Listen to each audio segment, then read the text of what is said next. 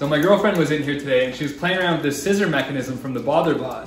And we took one look at it and we're like, why doesn't it have a boxing glove on this end and then maybe even like a handle and a trigger on this end so you have yourself an extending comical boxing glove gun thing. So I'm Jay, this is JBV Creative. Let's create an extending comical boxing glove gun thing.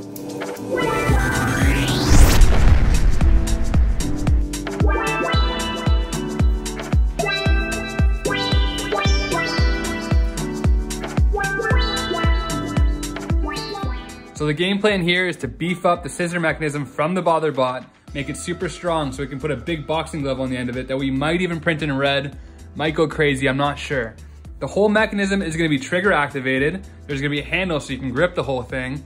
And it's all gonna be fully 3D printed. So there's no additional tools, parts necessary. So you guys can actually print this at home if you want. Once this whole thing is working, we're gonna go absolutely ham add as many of these scissors segments as possible and just see if we can make this thing long AF. All right, let's do it. Oh yeah, I love waking up to some new parts on the printer.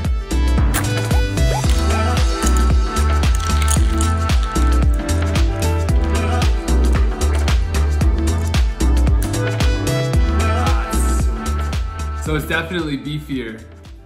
This was the scissor mechanism from the BotherBot, but with the pins and C-clamps, this thing is solid.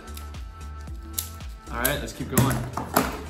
It's crazy because sometimes you end up in these situations where you see a sketch like this and you're just like, I have no idea how this is actually gonna become like a real thing.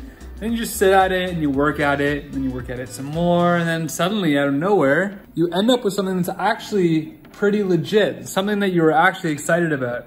So We'll see what happens when this thing prints. Moment of truth. Time to find out if I did good engineering.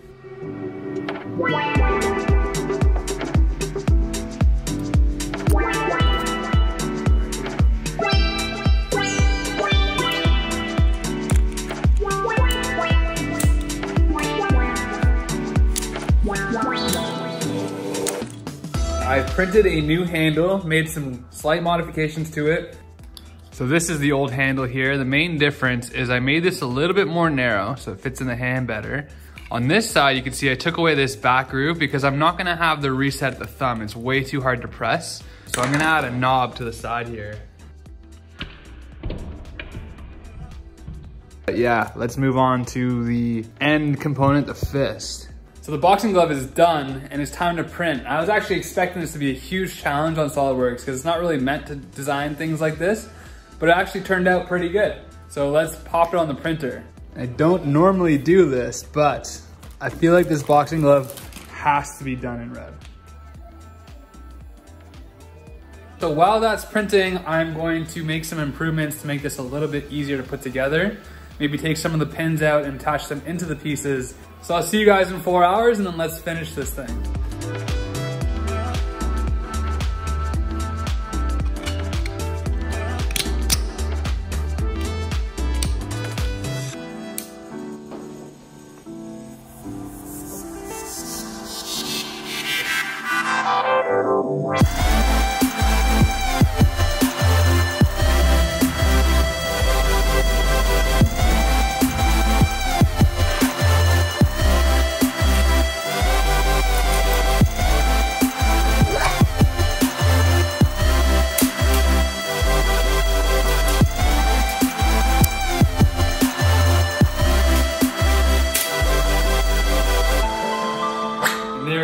The extending comical boxing glove gun.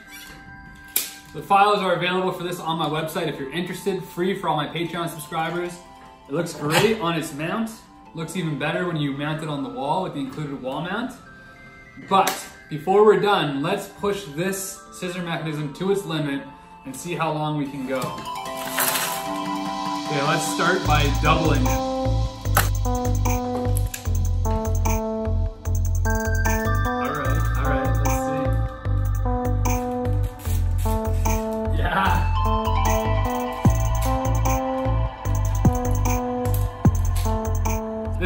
probably its practical limit, but let's add this to it.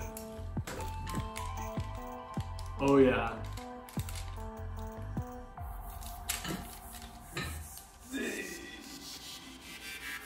Okay, the trigger is definitely not gonna work, but that's what we have this backup for.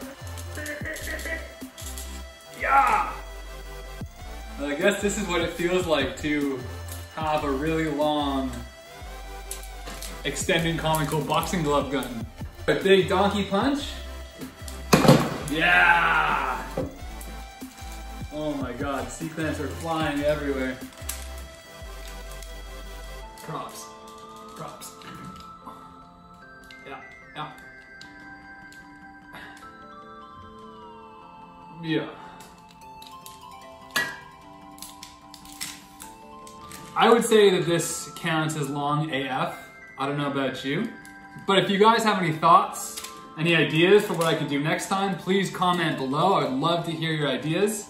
Thank you guys so much for watching. I'll see you in the next video.